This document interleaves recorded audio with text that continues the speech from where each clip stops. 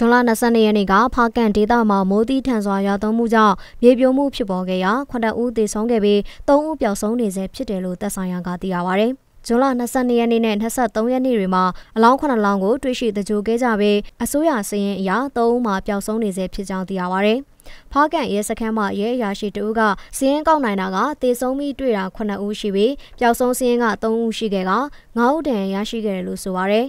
ဇွန်လ22ရက်နေ့မနက်ပိုင်းက9နာရီခန့်စက်တိုက်ရွာသွန်းမှုကြောင့်တောင်ကျရေတွေနဲ့အတူမြေစာတွေမျောပါလာခြင်းတောင်ဆောင်တွေမှာမြေပြိုခြင်းဥရုမြေမြင့်တက်လာခြင်းတို့ဖြစ်ပေါ်ခဲ့ကြောင်းသိရပါဗျ